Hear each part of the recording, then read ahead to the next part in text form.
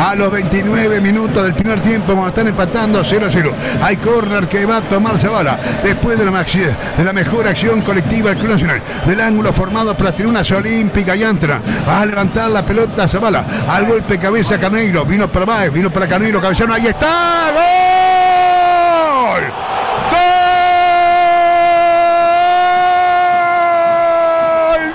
Nacional entró como un fantasma Franco Romero. Se quedó paralizado todo el fondo Peñarol. Y sobre la raya de gol, sobre la gol line, logró frentear la pelota Franco Romero ante el centro Zavala. Y este gol en el córner nace después de la mejor acción colectiva de cinco pases consecutivos por parte Nacional, donde tuvo como buque insignia al jugador Zavala. Zavala toma el córner, coloca para Baez, Baez que levanta centro. Miraron Milán, Coelho y Olivera.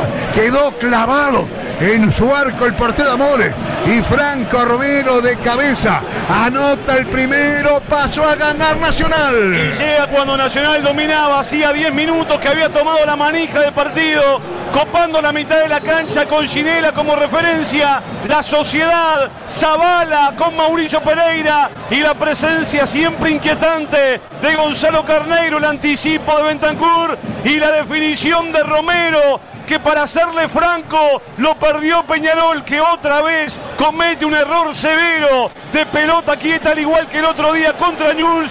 Gana Nacional tras un primer tiempo donde había comenzado todo muy entreverado. Clarifica el tricolor, gana el equipo del chino Recoba. Habitab, hacemos la vida más fácil. para crecer. Está transmitiendo Oriental con canapes de género del continente americano. Se levanta la pelota para Maxi Olivera. Atropella. Es frico abierto para Velocita González. Va al argentino. Atropelló González. Sacó ventaja. Metió centro. Segundo palo chilena. ¡Gol!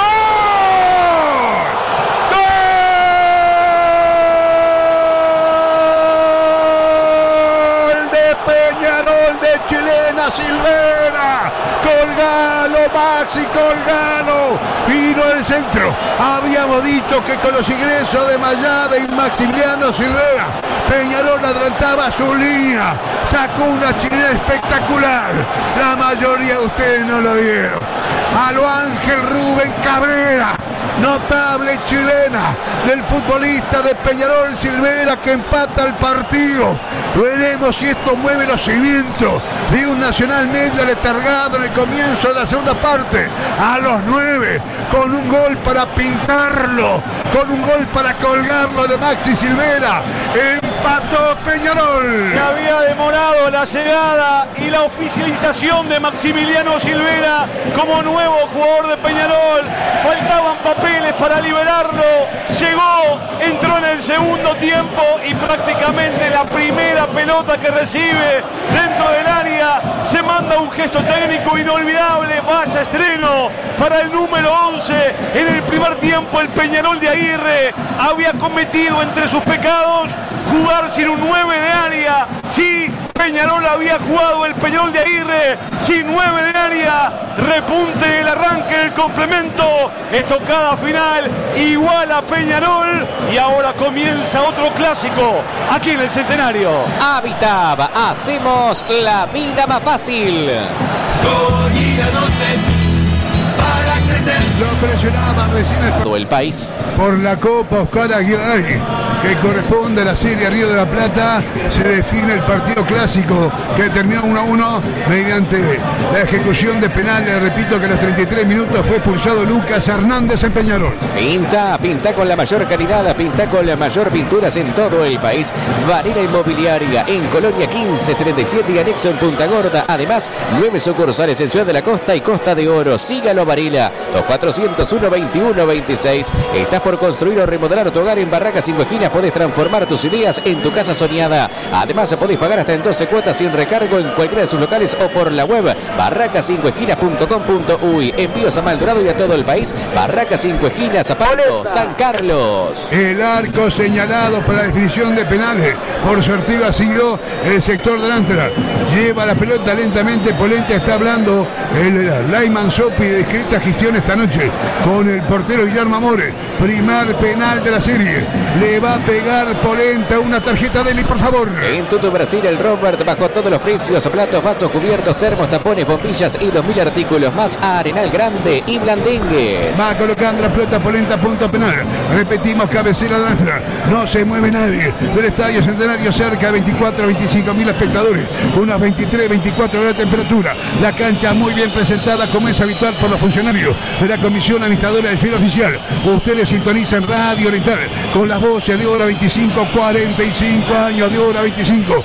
Tiro libre penal. Comienza la serie. Primero Nacional. Ahí va Polenta, izquierda. Gol de Nacional. El portero se tiró violentamente a base el vertical derecho y el latigazo de Polenta entre la mitad del arco y ligeramente volcado al palo izquierdo. Anotó Polenta, ahora va Peñarol. Droguería Paysandú están las toscas en la calle Vegas y Mario Ferreira los espera con una gran variedad de productos. Todo para el hogar, la piscina, el jardín o el cuidado personal. Droguería Paysandú, más de 60 años a su disposición. 092 788 069 drogueríapaysandú.com.uy Ahora vale ecuatoriano. Byron Castillo, una tarjeta de Eli. Recién tiró Polenta, anotó, ahora va por el empate Byron Castillo. La correa alemana líder está en el mundo en la Rique Rulemanes y su red de distribuidores Correa Continental en la Rique Rulemanes 917 73. Toca un palo, toca el otro palo Mejía. Se tiene confianza. Ahí está el ecuatoriano. Está Oriental transmitiendo la cabina. Varición en la ría. Definición de penales. Camina el ecuatoriano. Tiró el portero Mejía. Mejía abajo. Mejía con el guante derecho. Fue como bailoteando. No dio sensación de seguridad ni mucho menos. En su camino rumbo a la pelota y el bailoteo previo. Allá Castillo. Notable. Genial Mejía. Ahora va el futbolista Carneiro. Ambos tiraron un penal. Está ganando Nacional por un tanto a cero, ¿verdad? Un arquero largo que adivinó la intención de tu remate, que fue muy enunciado el ecuatoriano Castillo y Mejía, que fue muy importante en la recta final del clásico, tapando el mano a mano, adivinándole la intención a Silvera, le da la posibilidad ahora a Carneiro de sacar la ventaja en la definición. Ha colocado la pelota despegado, atacante Carneiro cerca, 25 mil espectadores. Depositó la pelota. Ya ambas escuadras tiraron un penal. Gana parcialmente Nacional por un a cero. Entró Carneiro. ¡Gol! Tiro violento, levantó los piolines. Cabecera de Ámsterdam. Le pegó como con bronca jurando. El espigado Moreno, que ahora se abraza ya con el portero Mejía. Un impecable. Está ganando Nacional por 2 a 0. Pero Peñarol tiene un penal menos tirado. En el Jardín Extensión Escolar de Aibo acompañamos a niños y niñas con propuestas que incluyen el juego, la exploración y la expresión. Consultas e inscripciones en aibo.org.uy barra jardín. Ha colocado la pelota en Abuela Costa. Elemento que entró con bastante acierto en la parte comunitaria. Veremos. Toma, no digo que larga distancia, pero está pisando el límite del área mayor. Ahí está Mejía, agrandado. Levanta su brazo. Mira fijo la pelota el futbolista de Peñarol. Entra Costa derecha. Gol de Peñarol que sigue con vida, que sigue peleando. Tiró la mitad del arco. Con potencia el futbolista Costa. Ahora gana Nacional 2 a 1. Estación Ancapa para Romero. Sarandí Grande, ruta 5 kilómetros 139 500. Los esperan las 24 horas con todos los servicios de Ancapa y 360. Estación Ancapa Panamericana en Sarandí Grande, ruta 5 kilómetros 139 500. Hasta ahora Nacional tiró Polenta, fue gol, tiró Carneiro, fue gol. Ahora va Franco Romero. En Peñarol tiró Castillo, gran atajada de Mejía. Luego tiró el futbolista Costa, anotando el elemento de Peñarol. Ha colocado la pelota Franco Romero que en el desarrollo del partido a los 30 minutos primer tiempo de cabeza sobre la raya de gol. Decretó con frentazo corto y efectivo el tanto apertura. Ahí está Franco Romero, no toma mayor distancia. Está a 3 metros la pelota, autoriza el juez. Ahí va Romero de derecha. Golero, gol. Golero y adentro. Golero y adentro. Acaba de anotar Franco Romero. Está ganando Nacional 3 a 1, pero Peñarol con un penal menos tirado. Fue la potencia del disparo de Franco Romero lo que permitió la conquista, porque en esta Guillermo de Amores adivinaba la intención. Ahora va Maxi Silvera, una ficha de él, por favor. Entrería bien el lavado de cortinas con los modernos equipos ecológicos Eduardo Víctor Aido 2001 24080642 retiramos y entregamos sin costo. Ahí está Maximiliano Silvera, que hizo un gol de chilena. Luego va a ser el segundo, se lo tapó Mejía. En un gran mano a mano. Ahí está Silveira, tiro penal que va a tomar Peñarol. Corre, llega, pierna derecha. Mejía, Mejía, a lo manga. Se tiró hacia el vertical izquierdo con sus brazos. La sacó con las piernas en la mitad del arco. Mejía por ahora, genio y figura. Nacional hizo tres. Peñarol tan solo un gol. Está ganando por penales Nacional 3 a 1 en el Estadio Centenario. Bajó ayer del avión y se fue directamente al complejo de los Céspedes, a la concentración de Nacional. La pelota del final contra Maxi Silvera y ahora que se empieza a probar el traje de héroe. Bueno, si Sanabria anota, no habrá necesidad de tirar, ¿no? Más penales porque sería 4 a 1. Ahora están 3 a 1. Vamos a ver, el Botija Sanabria ha colocado la pelota, transmite Oriental con todas las voces de una 25, 45 años estables, continuos. En los 770, amplitud modulada. Autoriza el juez. Ahí está el Botija Sanabria, corrió, llegó de derecha. ¡Gol Nacional! ¡Gol de Nacional!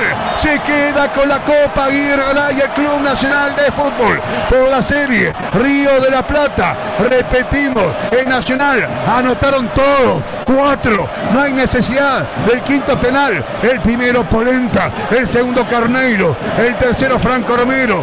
Y ahora el Botija Sanabria que está abrazado y llega al paroxismo con sus muchachos, con sus compañeros. En Peñarol tiró Castillo, atajó Mejía, luego tiró a Costa y fue gol, luego tiró Silvera. Y otra vez Mejía, genio y figura en la definición de los tiros penales.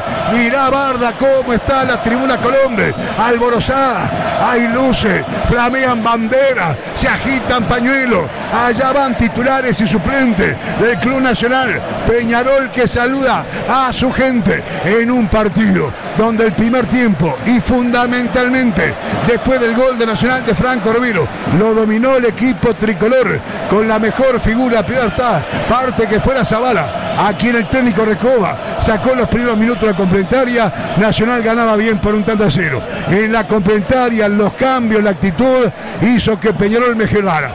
A tal punto que fue expulsado Lucas Hernández, pasando los 30 minutos, e igualmente Peñarol inquietó, atacó y en relación de un tiempo con otro, las chances más claras de gol en el global fueron de Peñarol, a pesar del dominio de Nacional en los primeros 45 minutos. Y en los penales, Mejía definió la cosa y defeccionó a algún muchacho de Peñarol.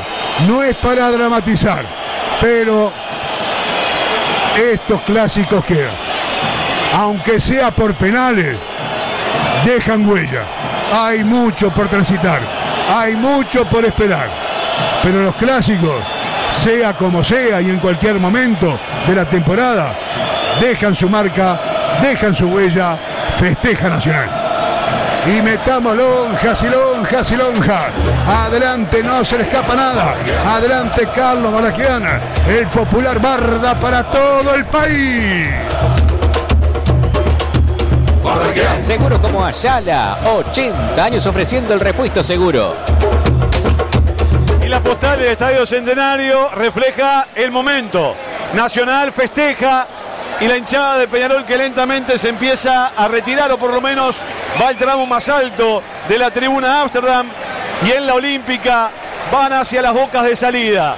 Nacional festeja un partido clásico que creo que también en las decisiones de Recoba tuvo un efecto negativo, en los cambios sobre todo. No porque haya tirado el equipo atrás como en el clásico anterior, pero perdió la mitad de la cancha, algo que había dominado en los primeros 45 minutos. La salida de Ginela, la salida de Diego Zavala, y el ingreso de juveniles que de repente no engranaron, no entraron de la mejor manera, algunos fuera de puesto. Con un Peñarol que a partir de los cambios de Diego Aguirre en el arranque del complemento, Mayada entró notable, Maximiliano Silvera exuberante con un verdadero golazo para recuerdo en su debut en partidos clásicos y un equipo que se mostraba más afanoso, el conjunto carbonero. Si bien la expulsión podía darle a Nacional más vuelo. La realidad es que Peñarol siguió siendo un equipo ordenado, 4-4-1. Nahuel Acosta entró muy bien al partido, maniobrando, siendo bastante desfachatado, con desparpajo, queriendo la pelota, el cepillo González también generaba inconvenientes en Nacional, por más que trasladaba demasiado la pelota, y Maxi Silvera era un hombre inquietante para el Fondo Nacional. Al equipo tricolor le faltó pupila, le faltó juego, más allá de los piques de León por derecha, de las incursiones de inverso por izquierda. Recoba que intentaba manejar los hilos, pero al equipo le faltaba volumen ofensivo con un Carneiro que estaba muy fatigado ya Nacional, de mitad de cancha hacia arriba en los últimos 20 metros, no lograba inquietar el arco defendido por Guillermo de Amores. Y en el tramo final del partido, el equipo que estuvo más cerca de la victoria, 10 contra 11, fue Peñarol. Por eso, el que se viste de héroe en la noche del centenario es el panameño Luis Mejía. Llegó ayer a nuestro país, fue directamente a los céspedes y lo esperaron a Mejía retrasaron el entrenamiento justamente pensando en el partido clásico. Le dio el buzo de arquero, el chino Recoba y Mejía fue clave, fue determinante en la definición por penales porque atajó el primero, el más importante, y ahí encausó la definición para que Nacional se lleve la victoria. Los clásicos siempre importan. De todas maneras, los dos entrenadores van a encontrar argumentos. Nacional porque lo gana por penales y Peñarol porque va a decir que 10 contra 11 estuvo más cerca la victoria y los penales son una circunstancia posterior. Insisto, los técnicos jugaron su partido. El primer tiempo mejor Recoba, en el segundo mejor Diego Aguirre.